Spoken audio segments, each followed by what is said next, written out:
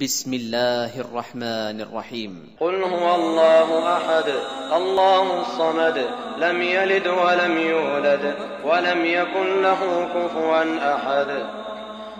قل هو الله أحد الله الصمد لم يلد ولم يولد ولم يكن له كفوا أحد. تكبير! الله أكبر! إن الحمد لله نحمده ونستعينه ونستغفره ونعوذ بالله من شرور أنفسنا ومن سيئات أعمالنا من يهده الله فلا مضل له ومن يضلل فلا هادي له أشهد أن لا إله إلا الله وحده لا شريك له وأشهد أن محمدا عبده ورسوله أما بعد السلام wa rahmatullahi wa barakatuh. Juste la vérité ICR 13 vous présente cette vidéo qui a pour nom Jésus Allahi wa Salem est-il le fils de Dieu? Bien entendu, qu'en est-il de l'appellation fils de Dieu Est-il le fils au sens propre, qu'il soit réellement son fils comme toute créature aurait un fils? Mais là, Subhanallah, ça serait de mettre au même niveau Allah subhanahu wa ta'ala avec sa création, ce que l'on ne peut faire et ce que l'on ne doit pas faire. De comparer notre créateur avec ses créatures. Ce qui ne rendrait pas unique Allah, alors qu'il est le seul et unique Dieu, seul et sans associé, seul, celui qui n'a pas de fils, il n'a pas engendré et n'a pas été engendré. Ce qui fait que Jésus, wa N'est pas, ne peut et ne doit pas être pris pour le Fils de Dieu. Car en islam, pour nous les musulmans, il n'y a pas et nous ne sommes pas les fils de Dieu, mais les fils d'Adam, Salem. Et que Jésus, Salem, n'est pas aussi le Fils de Dieu, mais qu'il est une créature, tout comme Adam, Salem, qu'Allah créa de poussière par le fait de dire soit et il fut, comme Allah le dit dans le Coran, surat 3, verset 59. Mais pour développer le sujet Jésus, wa Salem, est-il le Fils de Dieu, bien que je n'aime pas le dire, même d'une façon imagée ou toute autre manière. Mais pour répondre et marquer la différence de ce que vous nous dites, nous comprenons que par les écritures de la Torah, de la Bible, de l'Ancien et du Nouveau Testament, que nous saisissons que si Jésus, El Salem, doit être appelé Fils de Dieu, comme vous nous le dites, il doit l'être et uniquement compris alors d'une façon métaphorique, comme nous le voyons justement dans la Bible par la compréhension des versets qui nous l'expliquent que celui qui est appelé fils de Dieu est celui qui fait toute bonne œuvre, fait la volonté et transmet la parole de Dieu ainsi que celui à qui sa parole a été adressée, celui que Dieu a sanctifié et envoyé pour dire la parole de Dieu. Par le Saint-Esprit, comme Dieu l'a fait pour Jésus, Salem, dans selon Jean chapitre 3 verset 34. Voilà pourquoi Allah, après lui avoir envoyé le Saint-Esprit, dira Celui-ci est mon fils, comme dans selon Matthieu chapitre 3 verset 16 à 17 quand Dieu dit celui-ci est mon fils, comme il a fait pour d'autres personnes. Car n'oubliez pas que d'après la Bible, tous ceux qui sont guidés par l'Esprit de Dieu sont fils de Dieu. C'est ce qui est dit dans Romains chapitre 8 verset 14 et fait que par tout cela, Jésus, sera appelé le Fils du Très-Haut comme le dit Luc chapitre 1 verset 32. Vous voyez que dans le verset, il est fils de Dieu et en même temps fils de David. Cela montre bien que le terme fils doit être pris uniquement dans un sens de métaphore. Et c'est ce qu'explique justement Jésus Salem dans votre Bible sur la signification de fils de Dieu. Lui, Jésus Salem, celui que Dieu a envoyé, que vous appelez fils et d'autres qui l'appellent Dieu, qui vous dit que sa parole n'est pas de lui, mais de celui qui l'a envoyé, comme dans selon Jean chapitre 14 verset 24. Lui, Jésus, El Salem, vous montrant bien clairement la différence qu'il y a entre votre interprétation est la sienne. Et c'est dans selon Jean chapitre 10 versets 23 à 37 que Jésus, salem, vous donne l'explication pertinemment de qu'est-ce que être fils de Dieu et même en tant qu'être humain, être appelé Dieu. Dans la Bible, là où Jésus, salem, au verset 33, répond aux Juifs qu'il voulait le lapider parce qu'il se faisait Dieu, se faisant Dieu devant les Juifs, qui veut dire représenter Dieu devant eux, comme Moïse, salem, leur prophète, dans la Bible, qui se faisait aussi Dieu en représentant Dieu devant Pharaon, comme nous le montre Exode chapitre 7 verset 1. C'est les Écritures même qui disent que celui qui doit représenter Dieu fait qu'il est fait Dieu et qu'il est fils de Dieu. Au verset 34 à 36 de selon Jean chapitre 10, il est écrit que c'est la loi même de Dieu qui confirmerait tout cela. Cette loi qui ne peut être abolie et que pourtant vous-même, par votre parole, vous abolissez et déformez le sens qui, comme je vous l'ai dit, appelle fils de Dieu et même Dieu ceux à qui la parole de Dieu a été adressée, ceux que Dieu a sanctifiés et envoyés. Ces écritures de loi qui sont celles de Dieu que Jésus El Salem parle dans selon Jean chapitre 10 correspond à Psaume chapitre 82 versets 1 à 7 qui démontre dans ce chapitre dans la Bible que sont appelés fils de Dieu et même Dieu aussi celui qui est juge et qui doit faire appliquer les lois de Dieu. Et c'est justement et il en est d'autant plus pour Jésus, El Salem, qui par tout cela fait qu'il soit appelé Fils de Dieu, en leur faisant rappeler, en appliquant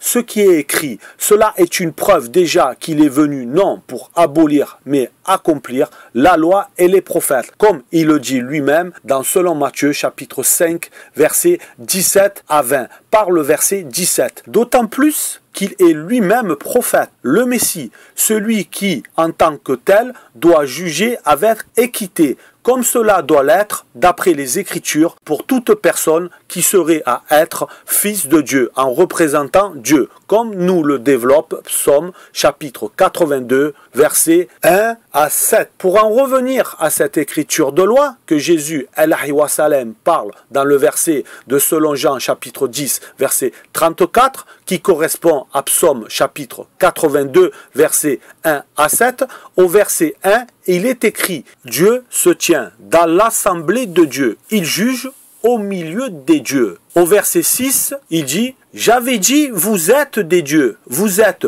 tous des fils du Très-Haut. Vous voyez dans ce chapitre, surtout au verset 6, que ces personnes sont appelées Dieu tout en étant fils. Comme les Juifs reprochent à Jésus, de représenter Dieu, comme on le voit dans le verset de selon Jean chapitre 10 verset 33 à 37 qui lui-même le justifie par les Écritures que c'est pour cela qu'il est le Fils de Dieu par la preuve du fait qu'il fait les œuvres de Dieu, comme il le dit au verset 37. Tous ces versets vous montrent que c'est pour cela qu'il sera sans l'être réellement, mais fictivement appelé Fils de Dieu, comme l'exemple que je vous ai donné dans Exode chapitre 7 verset 1 où il est écrit L'Éternel dit à Moïse Vois, je te fais Dieu pour Pharaon, je te fais Dieu, mais cela ne veut pas dire que Moïse est Dieu, mais que Dieu l'a envoyé pour le représenter devant Pharaon, comme il a fait pour Jésus El Salem, le faisant Dieu devant les Juifs, dans selon Jean chapitre 10 verset 33. Pour en finir avec Psaume chapitre 82, le verset 7 montre bien la différence qui ne sont ni fils ni Dieu, où il dit, Cependant, vous mourrez comme des hommes, vous tomberez comme un prince quelconque. Ces écritures qui correspondent à selon Jean chapitre 10 verset 23 à 37 où Jésus wa salem donne la signification de fils de Dieu. Lui qui n'est pas venu pour abolir la loi mais pour l'accomplir, comme il le dit dans selon Matthieu chapitre 5, versets 17 à 20. Vous pourriez être aussi appelé le fils du diable si vous faites de mauvaises œuvres, faisant sa volonté, tout ce qui serait mal et mauvais. Celui qui ne cessera point de pervertir la voie droite du Créateur sera ainsi reconnu comme étant le fils du diable et l'avoir lui compère, c'est encore Jésus, salem, qui va vous donner l'exemple de qu'est-ce que être le fils du diable, en répondant également aussi à ceux qui souhaitaient le faire mourir, dans selon Jean chapitre 8, verset 44, où il dit, Vous avez pour père le diable, et vous voulez accomplir les désirs de votre père. Il a été meurtrier dès le commencement, et il ne se tient pas dans la vérité, parce qu'il n'y a pas de vérité en lui. Vous constaterez que le sens de fils de Dieu et fils de diable, Jésus, Allahi wa Salem, en donne l'explication par deux fois à ceux qui désirent le faire mourir. Comme je vous l'ai énoncé dans selon Jean chapitre 10 verset 23 à 37 et selon Jean chapitre 8 verset 44. Je poursuis. Qu'est-ce que le fils du diable Dans Actes des apôtres chapitre 13 verset 6 à 10, Elimas, un homme magicien, faux prophète, qui est nommé Bar Jésus, qui voudrait dire fils de Jésus, qui est un autre Jésus, par le fait qu'il soit plein de toute espèce de ruse, de fraude, l'ennemi de toute justice, qui ne cessera point de pervertir les voies droites du Seigneur, et ainsi identifié comme étant le fils du diable. Voilà qu'est-ce et qui est le fils de Dieu et le fils du diable. Comme le dit 1 Jean chapitre 3 versets 8 à 10. Celui qui pêche est du diable, car le diable pêche dès le commencement. Le Fils de Dieu apparu afin de détruire les œuvres du diable. Quiconque est né de Dieu ne pratique pas le péché, parce que la semence de Dieu demeure en lui, et il ne peut pécher parce qu'il est né de Dieu. C'est par là se font reconnaître les enfants de Dieu et les enfants du diable. Maintenant, je vais vous donner quelques exemples bibliques qui vous montrera comment être le fils de Dieu et comment l'avoir comme père. Selon Matthieu chapitre 5, verset 9. Heureux ceux qui procurent la paix, car ils seront appelés fils de Dieu. Selon Matthieu chapitre 5, verset 44 à 45. Mais moi, je vous dis, aimez vos ennemis, bénissez ceux qui vous maudissent, faites du bien à ceux qui vous haïssent, et priez pour ceux qui vous maltraitent et qui vous persécutent, afin que vous soyez fils de votre Père qui est dans les cieux. Apocalypse, chapitre 21, verset 6. Et il me dit, c'est fait, je suis l'alpha et l'oméga, le commencement et la fin. À celui qui a soif, je donnerai de la source de l'eau de la vie, gratuitement. Celui qui vaincra héritera ces choses. Je serai son Dieu et il sera mon fils. Et il y en a même qui seront filles de Dieu et l'auront comme père, comme la Bible le dit dans 2 Corinthiens chapitre 6 verset 16 à 18. Pour ceux qui s'écarteront de l'idolâtrie et qui ne toucheront à ce qui est impur. Faisons une petite conclusion de tout ceci. Celui qui est fils de Dieu est celui qui fait la volonté et les œuvres de Dieu, qui suit la voie et parole de Dieu, comme le cas de Jésus, celui que Dieu a prédestiné à l'être, prédestiné avant la fondation du monde et manifesté à la fin des temps à cause de vous, afin que par lui vous croyez en Dieu et qu'en sorte que votre foi et votre espérance reposent que sur Dieu, comme le fait voir le verset 1 Pierre chapitre 1 verset 20 à 21. Comme le dit ce verset, prédestiné avant la fondation du monde et manifesté à la fin des temps, peut répondre aussi à ceux qui croient que Jésus, est Dieu, que Allah les guide. Parce que Jésus, dit dans Jean chapitre 8, verset 58, avant qu'Abraham fût, je suis. Déjà, il ne peut être Dieu par la preuve du verset Colossiens chapitre 1 verset 15 qui dit que Jésus, Salem, est le premier-né de toute la création. Car Dieu ne naît pas et n'est pas une création. Quand il dit je suis, c'est du fait qu'il a été déjà prédestiné, donc exister dans la volonté de Dieu avant la fondation du monde, d'être ce qu'il est à ce moment-là et être ce qu'il sera à la fin des temps. Car Dieu a tout déjà écrit d'avance. Je vais conclure cela avec le verset d'Ésaïe chapitre 46 verset 10 qui dit J'annonce dès le commencement ce qui doit arriver et longtemps d'avance ce qui n'est pas encore accompli. Je dis Mes arrêts subsisteront et j'exécuterai toute ma volonté. Je poursuis la conclusion et fils de Dieu, celui que Dieu a sanctifié et à qui la parole de Dieu a été adressée. Selon Jean chapitre 10, versets 35 à 36. La parole de Dieu à qui a été adressée et envoyée pour dire cette parole de Dieu selon Jean chapitre 3 verset 34, la parole de Dieu pour que celui qui l'écoute et qui y croit, et croit à celui qui l'a envoyé, qui l'a envoyé à la vie éternelle, cette vie éternelle qui consiste à croire à Dieu et celui qui l'a envoyé, l'envoyé qui est Jésus Salem, selon Jean chapitre 17 verset 3, ne vient point au jugement, mais il est passé de la mort à la vie, selon Jean chapitre 5 verset 24. Par cette parole, selon Jean chapitre 12 verset 44 à 50, donc au verset 49 qui dit que ce n'est pas sa parole, mais la parole de celui